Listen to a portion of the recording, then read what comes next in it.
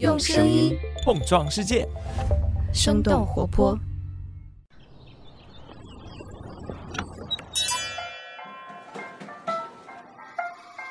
您的生动早咖啡好了，请慢用。嗨，早上好呀！今天是二零二二年的七月四号，星期一，这里是生动早咖啡，我是来自生动活泼的梦一，几条商业科技轻解读，和你打开全新的一天。不知道你是否听说过“早 C 晚 A” 这个说法？这个说法原本呢指的是一种护肤理念，可是这两年呢又被赋予了新的含义。现在的早 C 指的是早上需要 coffee 咖啡来提神，开启学习和打工的生活；晚 A 指的则是 alcohol，也就是含有酒精的饮料来进行助眠。日本三得利的一项研究表明。大多数人的第一口酒都是从 Real 或者是和乐怡这种披着饮料外衣的低度酒开始的。酒类产品作为成瘾赛道的老成员，一直以来都备受市场的关注。而就在前两年，国内也兴起了低度酒热潮，这类产品当然也就成为了众多资本的宠儿。但是低度酒在今年却高开低走，在刚刚过去的六幺八表现的也不尽如人意。国内的低度酒究竟是新消费炒作出来的泡沫，还是什么其他的原因导致了它的后劲不足呢？那我们今天的清解读就与此相关。在这之前，我们先来关注几条简短的商业科技动态。我们首先来关注一下匿名社交平台 Soul 的赴港上市消息。六月三十号，Soul 的运营主体公司 SoulGate 在港交所递交了招股书。So 是一个主打陌生人社交的平台，主要针对的人群是年轻群体。在二零一六年的时候上线。根据财新的报道，So 有着明显的低龄化特征。他们的招股书表示，So 的月活跃用户当中有近八成是一九九零年到二零零九年之间出生的人口。这个社交平台还面临着来自用户身份识别、内容审核和未成年保护等多方面的监管风险。下面来关注一下国内航空公司的最新消息。七月一号，中国国航、中国东航、南方航空公司发布公告表示，这三家公司一共向世界第一大飞机制造商空中客车公司购买了二百九十二架飞机。按照目录价格计算，这三笔订单的合计价值将会接近两千五百亿人民币。但是，根据财新的报道，最终交易的价格将会远低于这个数字，因为航空公司通常会获得大幅折扣，并且受到疫情的影响，全球很多航空公司都暂停了飞机购买。这个时候，航空公司与飞机制造商谈判，可能可以获得更大的优惠。下面我们把目光转向国外，一些科技公司对于罗伊诉韦德案被推翻又有了新的回应。美国当地时间七月一号，Google 发布公告表示，为了保护用户的隐私，他们将会自动删除用户对堕胎诊所、家庭暴力庇护所、减肥诊所等敏感地点的位置访问记录。但是，根据科技媒体 The Verge 的分析。Google 这一个举措影响有限，因为 Google 并不是唯一能够获取用户手机定位的公司，并且在位置数据之外，医疗机构的信息、短信和药物购买记录等等，也都可以作为判定是否堕胎的证据。最后来关注一下 Meta 的最新消息。上周五，Meta 宣布将会在今年九月关闭一个名字叫做 Novi 的数字钱包试点项目。Novi 是在去年十月发布的，是 Meta 围绕他们的 Libra 数字货币所设计的数字钱包。这个试点项目结束之后，用户将会无法再登录或者是访问他们的账户。另外，根据路透社近日获得的一份 Meta 内部文件显示，Meta 下半年将会精简预算和员工，来应对宏观经济压力和数据隐私对他们广告业务的冲击。以上就是值得你关注的几条商业科技动态，别走开。下面的时间，我们马上和你一起来了解一下被誉为微醺晚安酒的低度酒为何让人难以上头呢？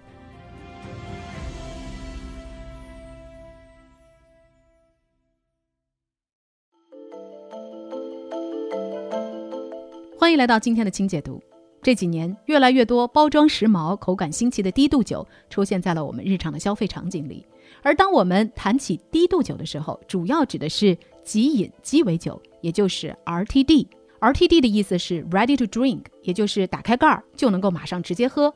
低度酒包括含酒精的苏打饮料、预调鸡尾酒，以及含酒精的茶饮和果汁儿等等不同的品类。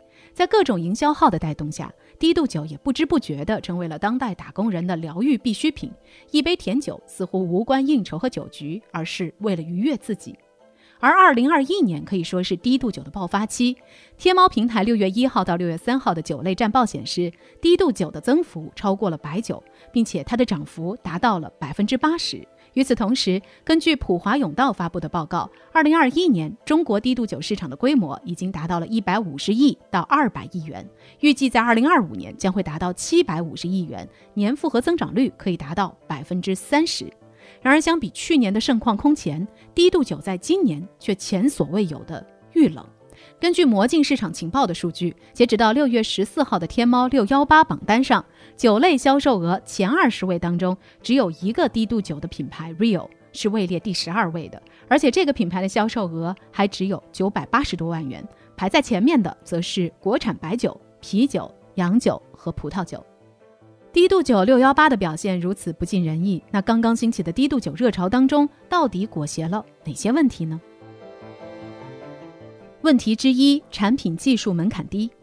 通常来讲，酿造技术是酒行业的关键，但是低度酒就不一样了。目前市面上低度酒产品的形态，大多是在各种饮料的基础之上加入食用酒精，所以结构非常简单。而也正是因为如此，大多数低度酒的品牌采用了代工贴牌的模式。众所周知，这种模式也是有很多的弊端，比如说轻研发、易复刻等等。已完成四轮融资的供应商富比新为例，它就是许多新兴的低度酒品牌的代工厂。醉额娘、普乐、三生石、九十浪等等新兴酒的品牌都是采用了他们的货源。而这家工厂的产品也是涵盖了果酒、美酒、酸奶酒等等许多的品类。这么多不同的品牌和产品，却都在使用同一个供应链，那他们的同质化的严重程度也就可想而知了。问题之二：营销同质化严重。其实不只是产品的同质化，低度酒在营销上也大体相同。在 CBN Data 发布的《二零二零年轻人群酒水消费洞察报告》当中提到，不仅是年轻消费者逐渐成为了酒水市场重要的增长动力，九零后女性的酒水消费人数甚至是超过了男性。这一点从营销上也不难看出，包括以贝瑞甜心 Miss Berry 为首的一系列低度酒品牌，都是在围绕着女性与年轻群体来做文章的。而他们的营销也离不开都市、微醺和小甜水等等造成刻板印象的关键词。这种相似的消费体验也导致用户很难形成对品牌的忠诚度。问题之三：性价比低。根据三得利出具的调查报告。有将近百分之六十五的受访者表示，初次尝试喝酒的时候都会选择 RTD，也就是即饮酒。超过百分之六十七的年轻人还表示，选择 RTD 的原因是比较好入口。但是，国内大部分新进低度酒品牌都主打轻奢小资路线，单价普遍在二十到四十元左右，而价格恰恰是决定了产品受众的规模有多大的重要因素。而即饮酒作为一种与饮料相似，但是又具备酒属性的快速消费品，二十到四十元左右的价格，实在说不上是亲民。同时，对于喜欢喝酒的年轻人来说，尽管度数差不多，但啤酒的价格却比它要便宜很多。不过，同样是低度酒市场。国内外的情况却大不相同。根据酒类市场分析机构 IWSR 最新的调研报告，得益于疫情等因素，包装便利的即饮鸡尾酒在全世界的表现持续走高，其中就包括加拿大、美国、德国、日本还有法国等等多个重点市场。数据显示，海外市场的 RTD 销售额已经从2018年的78亿美元增长到了2021年的接近100亿美元了。那为什么海外的低度酒市场还能够持续保持增长？成熟的 RTD 市场有着哪些特点呢？特点之一，口味推陈出新快。相比之下，海外市场的 RTD 产品大多是自家大厂供应。贴牌代工模式并不像在国内这么流行，所以相对在品控和创新上也有着更加完善的体系。就拿日本来说，从数据上来看，日本 RTD 即饮酒市场连续十年保持了高速增长，其中三得利更是创下了保持十二年增长的记录。而日本市面上主要的 RTD 产品基本被四家酒厂垄断，他们是麒麟、三得利、朝日和札幌。就拿其中的麒麟控股来说，它在二零二零年所淘汰的即饮酒口味就高达六十一款。同时，这些品牌还经常会推出季节性口味和限量版包装等等，给予消费者足够的新鲜感和时尚感，也让他们建立了对品牌的忠诚度和消费习惯。特点之二，价格更加亲民。在海外，大多数 RTD 的定价都是和啤酒一样，甚至是比啤酒更加便宜的。同样在东亚开拓市场的日本 RTD，正是在经济低增长、收入下滑的时期开始流行的。那个时候，日本年轻人面临就业率下滑等问题，也和目前整体消费低迷的情况有些类似。而在这种背景之下，酒类领域的消费降级趋势就十分的明显。日本即饮酒产品的价格整体都集中在每罐一百二到一百五十日元，按照最新的汇率来看，也就是六到八块人民币的价格区间。由此可见，低价策略是符合消费降级趋势，当然也就有利于吸引年轻的消费者。特点之三，市场更加成熟。在今年六幺八天猫即饮酒类目榜单之上，前十名的本土品牌里，除了瑞奥鸡尾酒这个零三年诞生的老将。其余低度酒品牌都是在二零一八到二零二一年才创立的新兵。然而相比之下，国外有着很多已经保持了多年增长的成熟 RTD 玩家了。其中像三得利这样的老牌企业还渗透到了国内，和众多本土新品牌一起来开拓即饮酒的市场。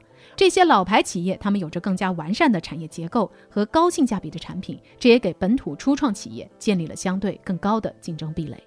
那聊到这儿了，我们也想来问问你。不知道你是否是一个极饮酒的消费者呢？是否会有一款小甜酒让你愿意反复回购呢？欢迎你在我们的评论区和我们一块儿来聊聊。好了，这就是我们今天的生动早咖啡。那我们在周三一早再见啦，拜拜。